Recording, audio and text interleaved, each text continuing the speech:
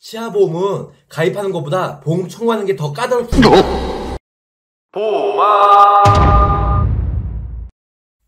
보험을 사랑하고 보험인으로서 보험을 쉽게 알리고자 하는 보험왕입니다. 반갑습니다.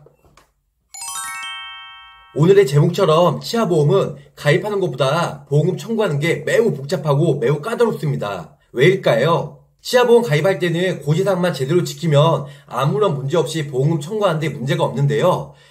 현재 보험사 중 L사를 제외하고는 모든 보험회사가 치아보험 청구 시에 100% 조사가 나가고 있습니다. 보험회사가 보험금 청구 시 조사가 나간다는 의미는 보험금을 주려는 의도가 아니고 보험금을 어떻게든 안 주려고 하는 개수작입니다.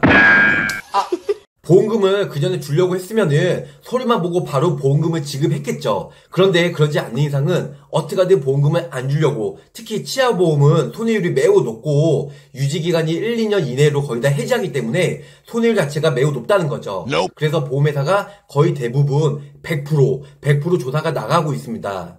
그래서 우리는 보험회사가 조사가 나가기 전에 고지사항을 제대로 지켰나 매우 중요한 부분이기 때문에 고지사항을 제대로 준수해야 되며 보험회사마다 약간씩 틀릴 수 있겠지만 지금 현재 국내 최초에 생겼던 L사에 L사에서 먼저 치아보험을 판매했기 때문에 거의 모든 보험회사가 L사의 고지사항과 약관을 토대로 똑같이 거의 만들고 있습니다. 치아보험 고지사항은 심플하게 딱 세 가지인데요. 첫 번째는 틀리한 적 있냐? 두 번째는 1년 이내에 충치 또는 치아 우식 중으로 보존치료나 보철치료가 한 적이 있냐? 세 번째는 5년 이내에 풍치나 잇몸병으로 한 개 이상 발치를 하였거나 치주질환, 치주수술을 하였거나 아니면 치주질환이나 치주수술을 해야 된다고 소견을 받았냐 요 세 가지 항목이거든요. 이 세 가지 경우가 아니라며 고지사항에 제외가 되며 보험금 청구 시에 아무런 문제 없이 지급이 되겠지만 보험회사는 어떻게든 보험금을 안 주려고 또 여러 가지 꼼수를 부릴 겁니다. 보험료 몇 달치 납입하고 몇십만 원, 많게는 몇백만 원 나가야 되는데 영리를 목적으로 하는 보험회사가 시지하고 보험금을 쉽게 내주지는 않겠죠. 그래서 저 같은 경우라도 제가 보험회사 입장이라도 어떻게든 보험금을 안 주려고 할 거예요. 이 뭔 개소리야! 보험금 청구 시 팁에 대해서 간단하게 설명을 드릴게요. 보험금 청구 시에 100% 조사가 나갈 건데요. 조사가 나가면 손해사정사죠. 예, 보험회사에서 고용한 손해사정사가 만나서 위임장을 써달라고 할 겁니다. 이 위임장을 고객 입장에서 전부 다 써, 써주시면 안 되고요. 위임장 한 개만 써주시면 될 것 같아요. 이 위임장 하나로 병원 한 군데를 조사할 수가 있는데요. 조사가 나가는 경우는 가입 당시에 집 근처에 주도지에 한 뭐 2km 전방에 병원을 거의 다 많이 조사를 하는 편이고요. 아니면은 의료보험공단에 조사를 해서 그런 기록을 토대로 조사가 나가곤 합니다. 아니면은 이제 국세청 사이트에 연말전사 간소화 서비스가 있는데요. 그 서비스 이용하셔서 5년치 병원에 다녀오시 의료비 조회를 할 수 있는데요. 보험회사에서 이 자료를 달라고 하면 절대 주지 마세요. 이거는 합법도 아니고 불법이에요. 또한 의무적으로 줄 필요는 없고요. 보상하지 않는 손해는 보험회사가 찾는 거고 보상하는 손해는 오히려 고객이 찾는 거죠. 보험회사가 이렇게 이렇게 해서 보험을 못 준다. 그러면 반박을 해야죠. 아니, 약관에는 이렇게 되는데 왜 보험을 못 주냐. 그래서 보상하는 손해, 보상하지 않는 손해가 대립하다 보면 어떻게든 뭐 합의를 하고 결론이 나겠지만 제가 봤을 때는 약관에 보상하지 않는 손해 없으면 계약자, 작성자 불이익 원칙에 의거해서 계약자한테 유리하게끔 해석이 되는데 그럼에도 불구하고 보험회사는 이를 시시하고 보험금을 안 주고 있는 현실입니다. 그래서 보험회사가 원하는 요구 조건을 전부 다 들어주시면 나중에 뒤통수 받습니다. 진짜로요. 후회하지 마시고 어떻게 하든 위임장은 처음에는 꺼려하시고 개인정보라 위임장 제가 꼭 써줘야 되나요? 하고 질문하고 나서 최소한 하나, 딱 하나만 써주세요. 만약에 그 하나로 부족하다고 하면 같이 손해사정사와 병원을 내방해서 손해사정사가 원하는 그 자료를 같이 동의하에 주시던가 아니면 당신네들이 원하는 서류가 어떤 것이냐 그걸 내가 띄어서 너희들한테 주겠다 하고 오히려 반박을 하시면 보험회사는 그렇게 압박해서 조사를 나가지 않을 거예요. 왜냐면 그렇게 요구 조건을 다 들어주고 또 손해사용사는 아 우리는 고객님 고객님 편이기 때문에 어떻게든 보험금을 드릴 거예요. 이러고 동의서를 많이 써주고 전부 다 오픈하잖아요.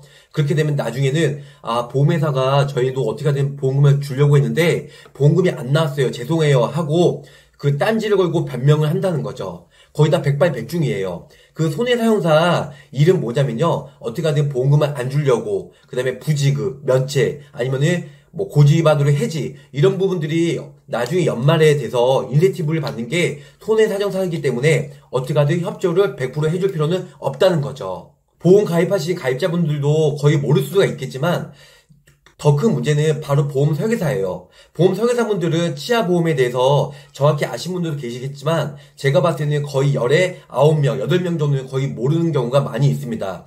치아보험 가입 시에 고지 의무는 어떻게 되는지, 나중에 보험금 청구 시에 어떤 서류가 필요하고, 손해사용사나 아니면 보험회사에서 조사가 나올 때 어떻게 대처하고 피드백을 해야 되는지 거의 다 몰라요. 물론 경험 부족인 부분도 있고, 많은 부분이 있겠지만, 공부해서 서로 알려고 하지 않는다는 거죠.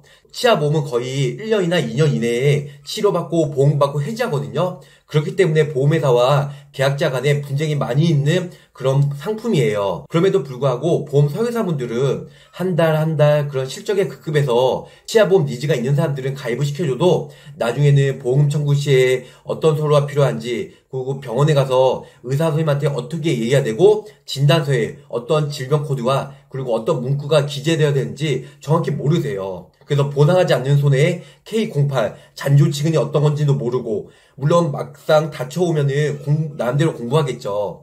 그런데 처음부터 그런 부분들은 정확히 알고 나서 잔존 치근이 있음에도 불구하고 치아보험 가입한 다음에 보험금 청구해서 보험금을 못 받는 경우 엄청 많아요. 그렇기 때문에 현재 우리나라에서는 치아 상태가 안 좋아서 매년 치아보험 가입률은 증가하고 있고요.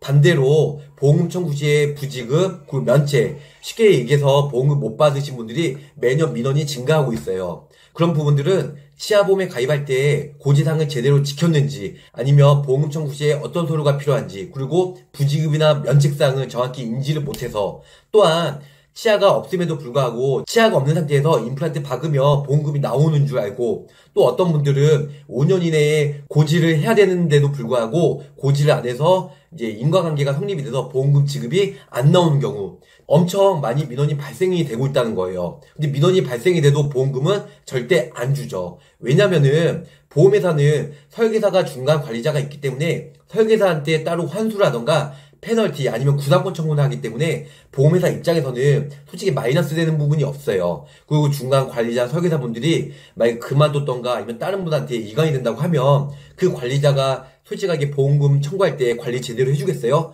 절대 그렇지 않다는 거예요.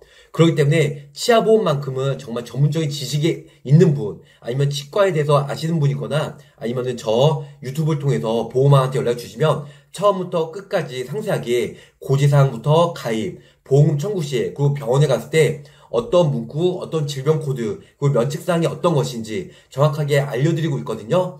그래서 지금까지 2년 동안 치아보험을 몇백 건, 몇천 건 판매함에도 불구하고 100%, 현재 지금 100% 지급이 되고 있습니다. 그래서 치아보험만큼은 저 보험왕한테 연락 주시고요. 오늘의 한 줄 평, 치아보험은 보험왕에게. you